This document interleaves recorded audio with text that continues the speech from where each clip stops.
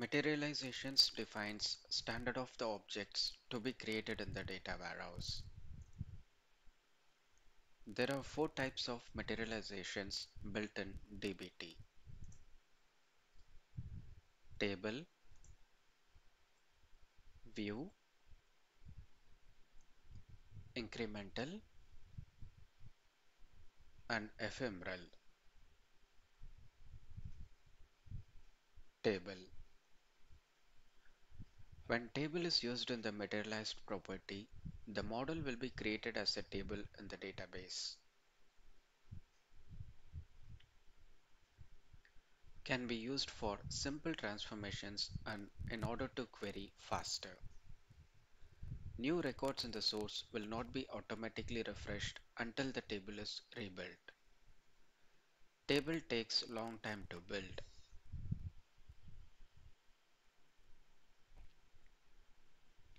View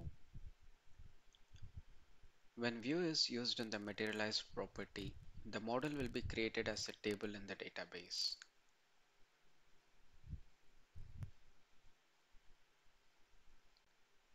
View does not have a storage in the schema. View is built using the source and the transformation logic provided in the model. New records in the source can be refreshed. Views can be used for the simple transformations like typecasting and renaming the columns. Incremental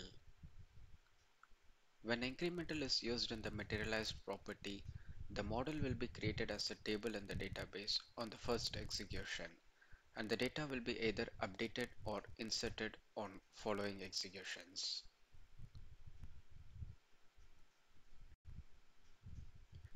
Can be used for complex transformations. Performance is good compared to table and view. Ephemeral. When ephemeral is used in the materialized property, the model will not create any physical objects in the database. The model holds the logic within DBT and is used as a reusable static logics. Can be used as reusable transformations. Performance is good. Harder to debug in case of errors or issues. I have created a course in Udemy about data build tool. You can enroll and learn the tool in depth. Provided the link in the description, the course provides you in-depth knowledge of data build tool in cloud and the advanced technique to utilize the tool in an efficient way. Thank you and feel free to reach out to me for any kind of queries.